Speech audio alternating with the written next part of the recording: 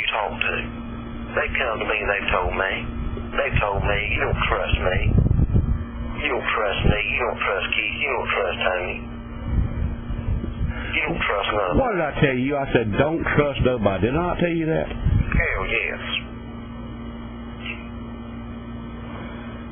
And all the time you said, Well, the only, the only damn thing I can figure the god phones, but, uh, but, do you hear me? I hear you. But the only thing I, well, they can have this conversation all they want to, any other conversation you and I have had on the phone, because you never told me nothing you've done illegal. No. I But, can tell you one thing, I hate them son How about that? who you talking about? Oh, the FBI? Yeah. Well, the whole investigative deal. I hate all of it. Yeah. Well, they've made our life a living hell.